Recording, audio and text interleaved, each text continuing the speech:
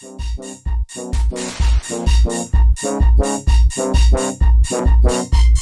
you.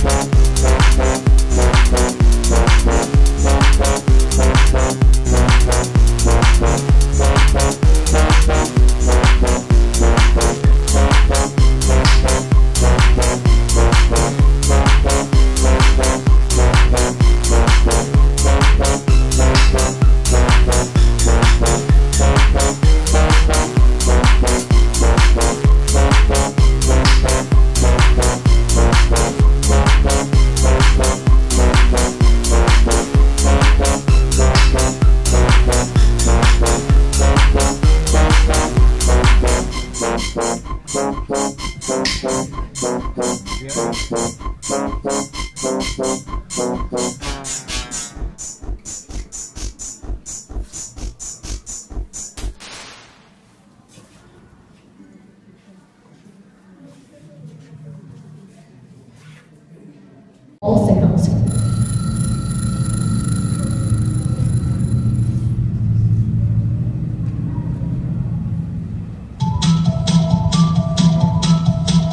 At this point in the game, everything flips.